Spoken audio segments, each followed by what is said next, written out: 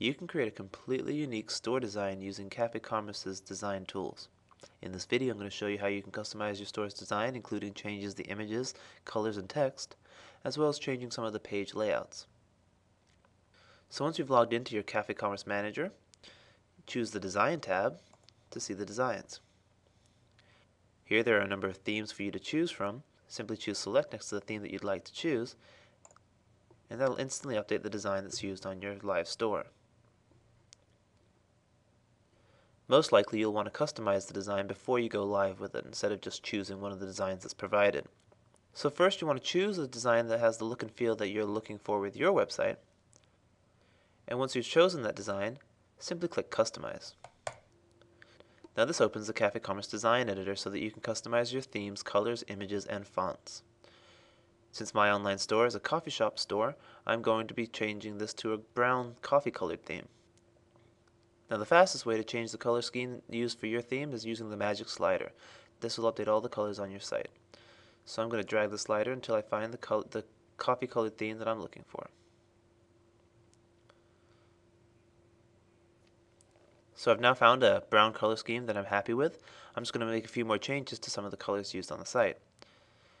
The primary colors section lists the more prominent colors used throughout your site. You can hover over each color to see where they're most commonly used. This is obviously the color for my page background. So if I wanted to change this color to be a little bit of a lighter brown, simply choose a color that I like here and click Apply Color. The menu text color here I'm going to change to be more of a gold color. And so that's all the changes that I need to make to my colors. Now let me show you how to customize your images. Choose the Images option from the side navigation here and the first image that you want to change is your store logo. I have a logo that I want to use for my store, so I'm going to click the Browse option here to go select that logo now. So this opens the file manager for you to upload images and make modifications to those images. So first thing you need to do is click Choose File to select the file that you want to upload. And here's my folder with my images. I'm going to choose my logo and click Open.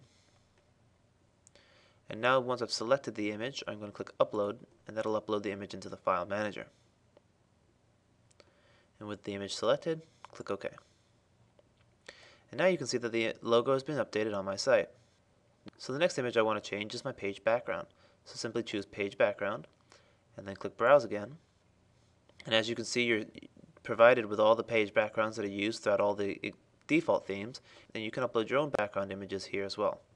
So I'm going to click Choose File, select the background image I want to use and click open. And once that image is uploaded, it'll be selected here for me to click OK. And that background image is now being applied to my store. As you can see, it's repeating right now, which I don't want. So in order to turn that off, simply uncheck these two options. Now what I do want is I want the, the background image to center in the middle of the image. So from the position options, I'm going to choose center and leave top selected. So there you go. I've now updated the images used for my store and it's beginning to look like a coffee shop website. So the last change I'm going to make is to the fonts. Here you have the ability to choose a number of different unique fonts for your website. The default font on my website I am going to change to be Verdana. And then I'm going to choose the Headings tab to change the headings font that I want to use. For my headings, I want something a little bit fancier, so I've chosen this dancing script option.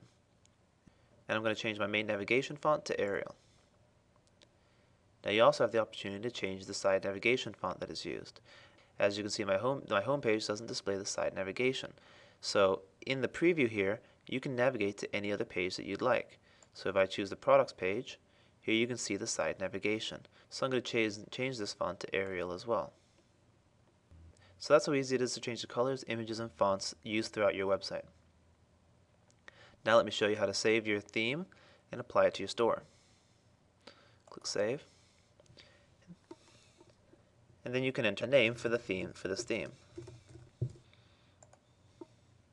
Your new custom themes are shown in a custom themes section, and you can create as many custom themes as you'd like. You may want to create multiple custom themes in case you're having a special event where your store's design is going to change or you're going to use a different image, and that way you can easily switch back when that sale ends. Once your new theme is ready to go live, simply click Select, and that now changes to the current theme. Now if I go to the home page of my live store, you'll see that my design has been updated. Now let me show you how you can change some of the page layouts. Under Page Settings, you can choose the page that you want to modify the layout for. I'm going to start by changing my home page layout. CafeCommerce provides you with three different home page layouts that you can choose from. For my example, I'm going to choose a stacked, featured, and popular option.